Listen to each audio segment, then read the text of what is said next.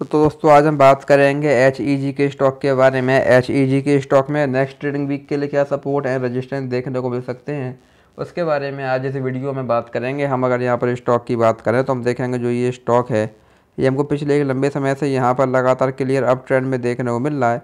हमको स्टॉक में लगातार हाइयर हाई हाइयर लो वाला पैटर्न यहाँ पर देखने को मिल रहा है। हमको स्टॉक में बीच बीच में यहाँ पर गिरावट भी देखने को मिली, लेकिन स्टॉक ने कभी भी अपने प्रीवियस लो को ब्रेक नहीं किया। और हमको यहाँ पर स्टॉक में लगातार तेज़ी ही देखने को मिली है। आज भी हमको यहाँ पर स्टॉक में 3.29 परसेंट की यहाँ पर एक अच्छी तेज़ी देखने को मिली है।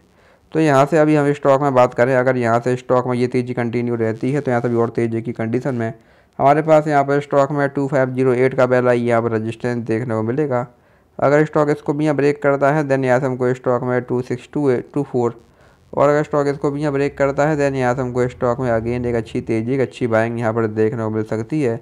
इसके बाद हमको यहाँ पर स्टॉक में ट्वेंटी एट हंड्रेड देन यहाँ से हमको स्टॉक में थ्री थाउज़ेंड एंड देन यहाँ से हमको स्टॉक में again three two five zero और thirty four thirty five hundred तक के लेवल्स भी यहाँ पर देखने को मिल सकते हैं।